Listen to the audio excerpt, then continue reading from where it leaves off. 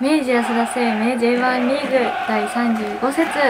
鹿島アントラーズ戦の予想フォーメーションはこちら。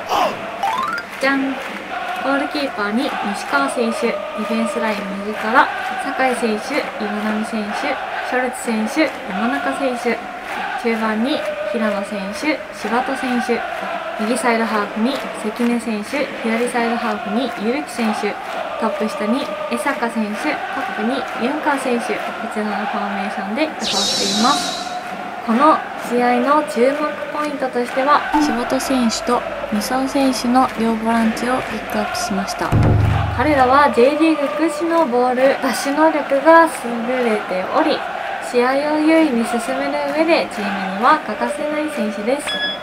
どちらが中盤を制するかがこの試合の見どころの一つとなるでしょう。はじめに鹿島アントラーズの攻撃から見ていきましょう。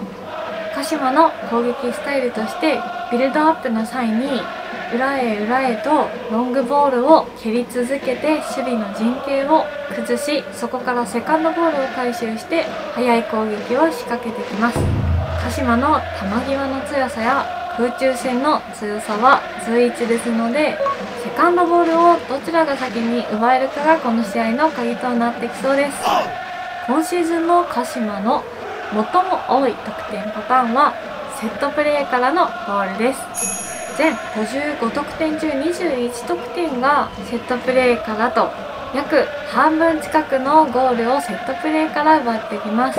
レッズは岩波選手ショルツ選手牧野選手と対人に強いセンターバックが揃っていることもあり31失点中5失点がセットプレーからとそこまで苦手意識はなさそうです。空中戦の攻防で相手を上回り前に弾き返すことができれば失点は防げるでしょう。続いてレッズの攻撃です。セ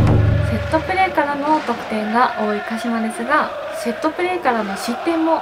く35失点中11失点がセットプレーからの失点です。レッツは今シーズンセットプレーからなかなか得点を奪えていませんが今後さらに強いチームになっていくにはセットプレーからのゴールは欠かせません。江坂選手山中選手といいキッカーが揃っているのでセットプレーからの得点にも注目したいです。鹿島の基本フォーメーションは442でほぼミラーゲームのような試合が予想されます。鹿島は前から強くプレッシングをかけてくるチームではなく守備を形成してから後ろ半分くらいからプレッシングをかけてきます。プレスをかけるタイミングとしてはセンターバックがボールを持った時です。中を切りながら外へ追い出そうとするプレスをかけてきます。レッツはテンポよくボールをつなぎながらワンタッチで相手を剥がすことで一気に局面を打開できるでしょう。予想スコアは関根選手岩波選手のゴールで2対1で勝利すると思います。皆さんの予想スコア予想フォーメーションもコメント欄でお待ちしてます。鹿島アントラーズとはこれまで何度も熱い試合を繰り広げてきました。今シーズンは ACL 出場権を獲得する上で絶対に落とせない試合となります前回対戦時は2対1で勝利したものの監督交代から安定した強さを誇っています。負けたら出場権争いから脱落するこのゲーム。絶対に勝ちましょう。浦和レッズ対鹿島アントラーズは11月7日日曜日2時キックオフです。